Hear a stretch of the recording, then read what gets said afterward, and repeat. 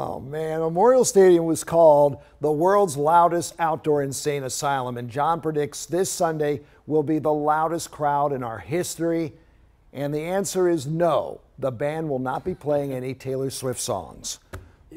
Thank you for that. Man, stories like that give us little glimpses into what this game means for the city and for all the different people that are going to go to it, that are invested in it. But to see someone so dedicated like that is a beautiful thing. He man. is, uh, he's been that way forever and ever. He's one of the reasons we get football back in this town. That's incredible. Yeah.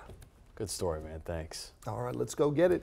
Yeah, let's go get it. A couple more days to go, Jamie. As we head into tomorrow, a little fog, some visibility issues. You'll walk outside tonight. You can't see much farther than mile, maybe. Okay. Less than that in some spots. So dense fog advisories in place through the morning. Radar showing up with some light showers here and there, pretty widely scattered, but in between that is the sort of mist that you almost drive through. It'll collect on your windshield enough to have to run the windshield wipers once or twice. This kind of sticks around tonight. It's the warm up. As temperatures climb, then air mass can hold more moisture. All the melting snow is providing a lot of low level moisture, and it's leading to this.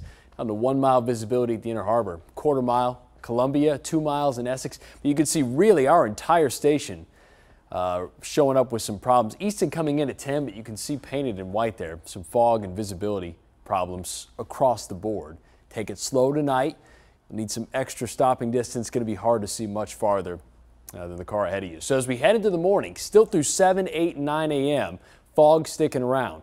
Temperatures warm back up. We're still on our way to the 60s. That doesn't change. It's going to warm thanks to a south wind, but uh, that fog, mist, and drizzle will linger through the morning hours. 54 in Baltimore, 56 in Ocean City, 60s and even near 70 farther south. This warm air is sprawling. We're getting a piece of it, and it'll stick around into Friday before temperatures start to swing the other way. So let's go tonight on Futurecast through Friday morning. This is all the fog sticking around. Uh, it looks like cloud cover, but watch as it slowly starts to shrink instead of really moving. By the time we get to the afternoon, that sky will clear up a bit. We'll get back to sunshine second half of Friday, much better. That's where temperatures jump back into the 60s. And then watch the wind direction change. You see these arrows coming across the board? They'll be out of the north by the time we get to Saturday. Temperatures drop here. It's not cold by any stretch of the imagination, but uh, 50s will start to slowly drop as we get into Saturday.